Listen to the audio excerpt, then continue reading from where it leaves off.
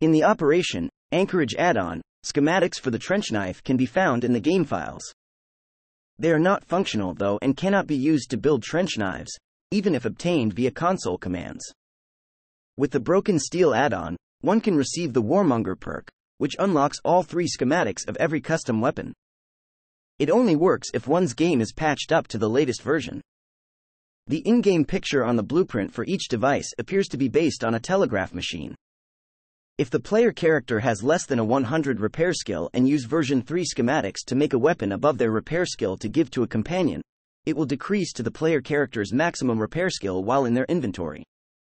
Witnessed on Xbox 360 with Jericho and the Shish Kebab, 80 repair skill and version 3 schematic, weapon deteriorated over time from its maxed capacity.